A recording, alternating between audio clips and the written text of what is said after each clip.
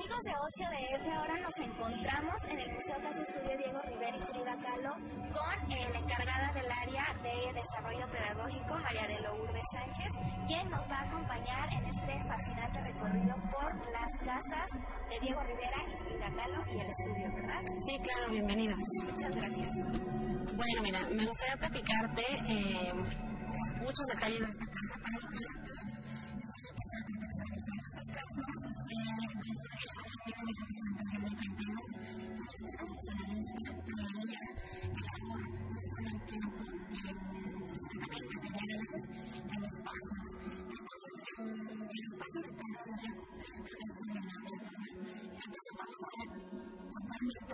aterrizaremos en concreto, que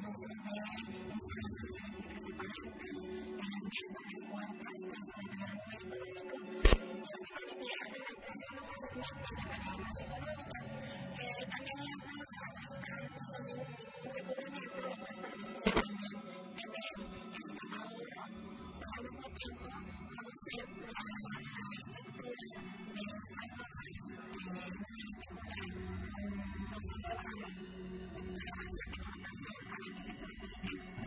Mira, un elemento también muy importante en estas casas son las escaleras.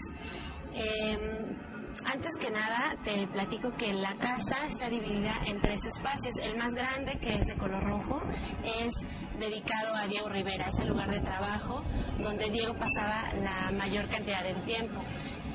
La casa azul, que está eh, junto y unida al estudio de Diego por medio de un puente, era propiamente la casa habitación de la pareja. Y esta otra pequeña que está al fondo es una construcción que O'Gorman diseñó pensando en el papá de Frida Kahlo, que fue un fotógrafo. La idea era tener un laboratorio fotográfico para, para el señor Guillermo Kahlo. Nunca se utiliza como tal y bueno, pues eh, continúa aún en nuestro diseño original. Las escaleras, como te comentaba, son un elemento muy importante en las casas. O'Gorman fue un arquitecto muy visionario y muy arriesgado. Entonces decidió hacer diferentes tipos de escaleras en esta casa. En la casa de Diego, como se le llama, está la escalera en forma de caracol o helicoidal. Esta escalera está sostenida únicamente por las losas. Eh, entonces en esa parte nosotros vamos a ver una losa distinta al resto del techo porque debía ser una losa suficientemente resistente para sostener la escalera en caracol. También por la parte interna de la casa se encuentran otras escaleras que únicamente están compuestas de las pisadas y bueno, permitían el acceso por el interior de la casa. También encontramos dos escaleras más, la que está de acceso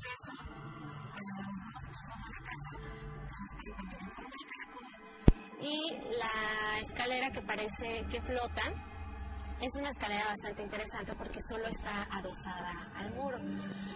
Eh, dado el romanticismo con el que se puede ver que Diego entraba por la ventana a la casa, mucha gente cree que eh, este puente que une a las casas sería como un brazo que Diego, por ser una estructura más grande, abraza a Frida, ¿no? Entonces, bueno, Diego lo que hacía era subir por ahí al puente, luego bajaba por la escalera flotante y entraba a la casa por la ventana, ¿no? Entonces de repente sí es visto como algo bastante romántico, pero dentro del funcionalismo más bien nos daba ese, em, ese ahorro de tiempo de traslado dentro de la casa, ¿no? Romeo, ¿no? Que entra por la ventana. Sí, yo no sé realmente si Diego algún día lo hizo, porque, bueno, esas escaleras bueno, sí, se, requiere ser bastante honesto para hacerlo, Yo, yo considero que sí lo hizo, ¿no? Y era bastante, bastante interesante y audaz. Eso le encantaba. Y eso le encantaba a Frida, entonces, bueno, Frida lo esperaba siempre porque justo ahí en ese piso está la habitación de la pareja y lo que Frida ocupaba como estudio. ¿Qué más? Ok, bueno, en este espacio, antes de platico acerca de las botas de basura. Las botas de basura también están diseñadas dentro de un estilo bastante distinto. Estas casas vienen a ser un contraste zona de porque bueno, es una zona de tipo colonial. Entonces, bueno, O'Gorman realiza una casa bastante contrastante con este estilo. Las vigas arazoras son parte de, de, estos elementos que, además de las escaleras, vamos a ir notando distintos en la arquitectura eh, citarina. También están los tubos de caída de agua de lluvia, que también O'Gorman los deja aparentes, igualmente que las instalaciones eléctricas. Entonces, bueno, estos son elementos que O'Gorman va a conservar durante toda la, estructura de la casa. Esta casa, como te comentaba, fue un contraste en la zona nacional. Gustosos con esta construcción porque está en una bastante visible.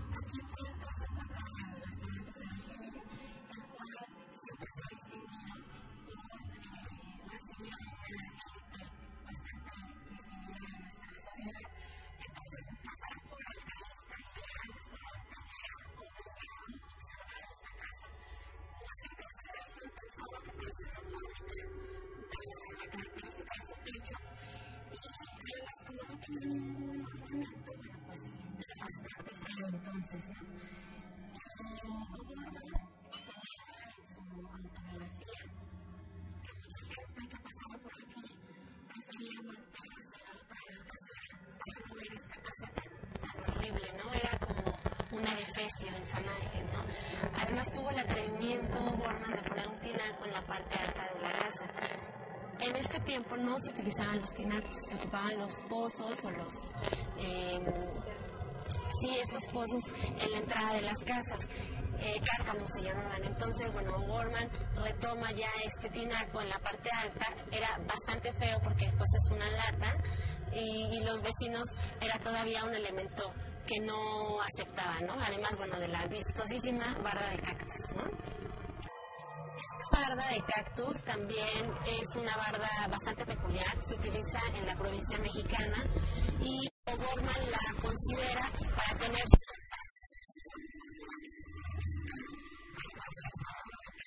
que tampoco era agraciada para los vecinos, O'Gorman retoma de la pintura mural mexicana los colores con los que están pintadas estas casas. Eran ciertos elementos que él procura para hacer esta relación entre ya la arquitectura mexicana tradicional con esta nueva arquitectura pues bastante europea, ¿no?